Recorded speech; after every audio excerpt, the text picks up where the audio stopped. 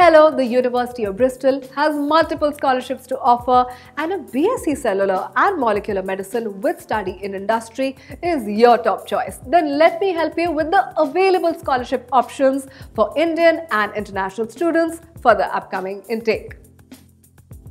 Bristol Science and Life Sciences India Undergraduate Scholarship is a unique competitive scholarship worth £9,000 and a chance to receive an iPad is offered to those students who have a strong interest in environmental themes.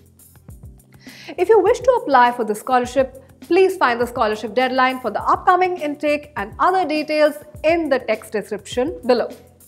The Think Big undergraduate scholarships are meritorious awards ranging from £5,000 to £10,000 and are available for students who enroll for this program at the University of Bristol and continue to pursue the same throughout the study duration.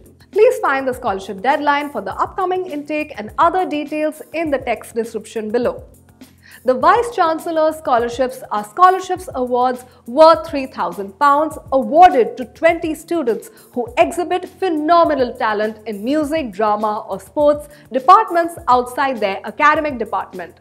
This scholarship from the university management is awarded on a competitive basis. Please find the scholarship deadline for the upcoming intake and other details in the text description below.